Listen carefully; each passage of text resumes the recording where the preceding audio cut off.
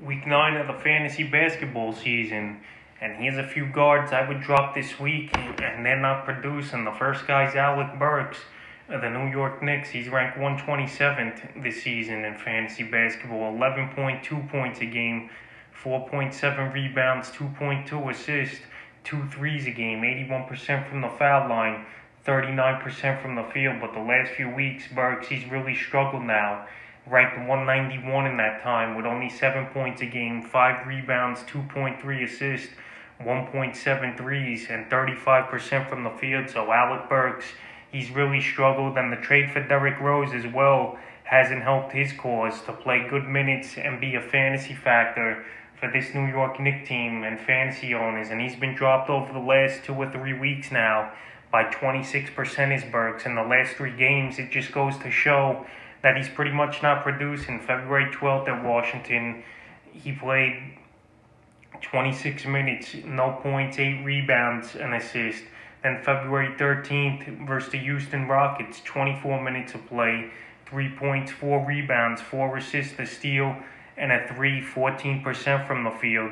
And then February 15th, last night, in a great victory over the Atlanta Hawks, he only played 19 minutes, 4 points, 4 rebounds, and assist and a steal. So Burks, he's only playing 20, 25 minutes a game. Like I said, Immanuel Quickley and Derrick Rose, they're the two main players off the bench here for the New York Knicks. And the Knicks are 3 0, or 3 and 1 that is, since Derrick Rose has come into town and they've won 3 in a row. And I could see another trade on the horizon with the Knicks. They got Kevin Knox on the block. They got a bunch of first round picks, and it wouldn't surprise me to see Burks thrown in to a deal as well because I know the Knicks they're targeting players like Bradley Beal and Victor Oladipo. So we'll see if they land one of these guys upcoming at the trade deadline. So I would drop Burks. The playing time's going down, the production's down, and this guy's in front of him now in this Knick lineup. The next card I would look to drop this week's Jeremy Lamb of the Indiana Pacers. So Lamb he came off the torn ACL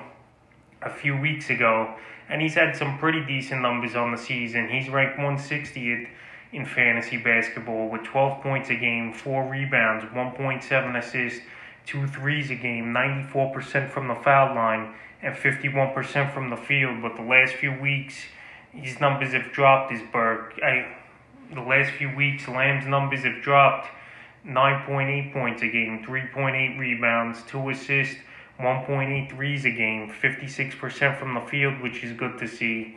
But he's just been pretty inconsistent, is Lamb, over the last few games now. February 10th at Brooklyn, 3 points, 1 rebound, 5 assists. Then at Detroit, February 11th, he had a good ball game, 17 points, 5 boards, an assist, 2 steals, and 3 threes. Then February 13th at Atlanta, 7 points, 4 rebounds and February 15th versus the Chicago Bulls, 12 points, 5 boards, 2 assists, a steal, and 2 threes. So Lamb, he's more of a volume shooter. He's more a hot and cold type of player as well. And as far as fantasy basketball goes, he's going to score some points and hit some threes.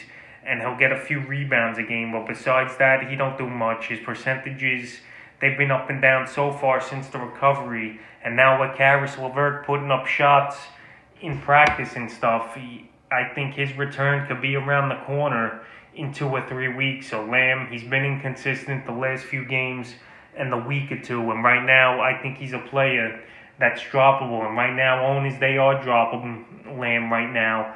His percentage has gone down already 8% in the last couple days.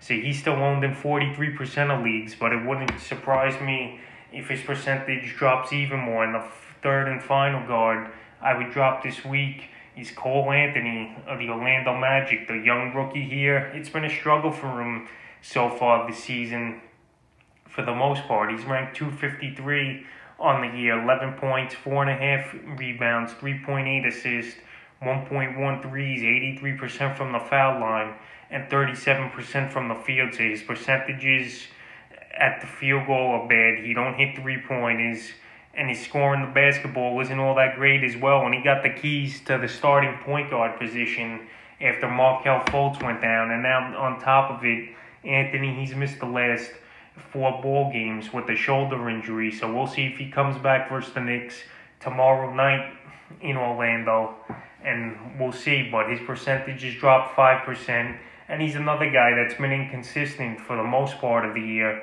up and down. But that's a rookie, and that's what rookies are gonna do. But Cole Anthony right now in ten and twelve team leagues, I think you could cut him loose, and if he does come back and produces again, then you could go out there and pick him up. But right now, he's been dropped in 5% of fantasy leagues the last week, and his ownage is only at 32%. So I think he's a droppable guard here. So that's a few guards I would drop here in week nine of the fantasy basketball season.